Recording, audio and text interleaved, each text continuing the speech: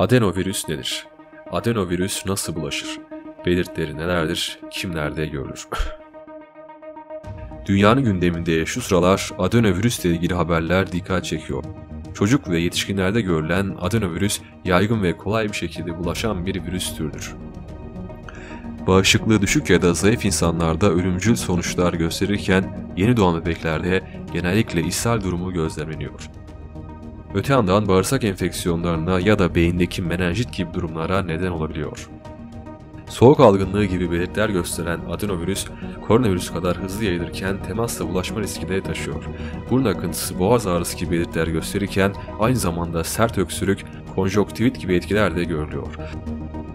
Koronavirüs nedeniyle araştırılan konular arasında yerini alan adenovirüs nedir? Havadan solunum yoluyla, gıdalarla ağızdan ve en çok dış ortamda temas sonucu eller yoluyla bulaşıyor. Dış ortama dayanıklı olan adenovirüsler uzun süre canlı kalıyorlar. Uzun süre canlı kalıyorlar. Ortama elle temas edip daha sonra ellerin ağız, göz, buruna dokundurmasıyla virüs bulaşıyor. Soğuk algınlığı belirtileri gösteren virüs, burun akıntısı boğaz ağrısı ile kendini gösterebilir. Konjonktivit, bronşiolit, zatüre, orta kulak enfeksiyonu ve ateşle görülebilir. Boğmaca gibi sert öksürük, göz içi kanamalar olabilir. Bazı türleri bağırsakları etkiler ve kramp şeklinde karın ağrılarına ve ishale neden olur. Çok nadiren menenjit ve ensefalite de neden olabilir.